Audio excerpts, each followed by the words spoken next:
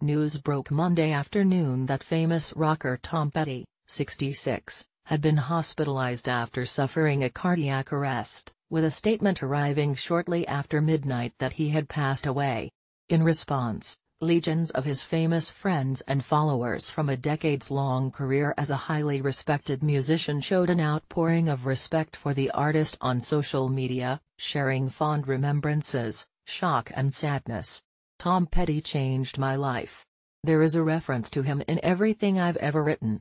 I love his work and life, wrote popular songwriter, producer and musician Jack Antonoff in a series of tweets.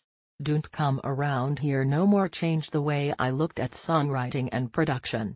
So odd and complex yet direct all at once. That's TP. He continued, those records live forever.